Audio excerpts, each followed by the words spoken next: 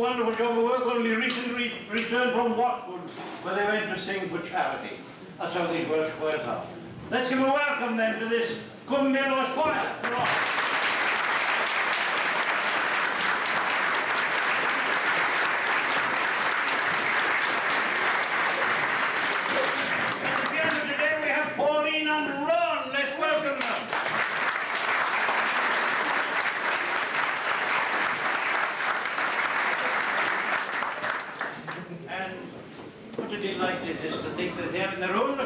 Man to look after them.